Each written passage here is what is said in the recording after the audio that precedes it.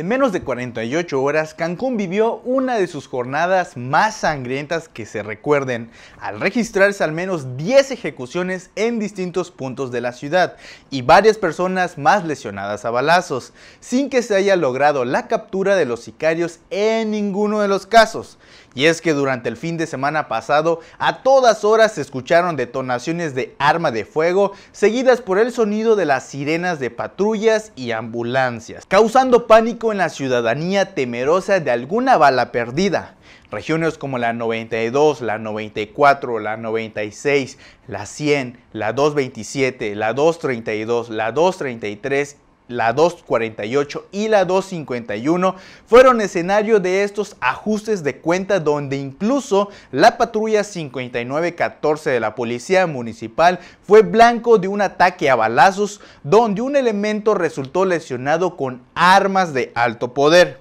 Y por si fuera poco, la mañana de este lunes fue encontrado el cuerpo de un hombre asesinado a balazos en el interior de un vehículo Nissan en la Supermanzana 521 y una mujer fue baleada en la región 95.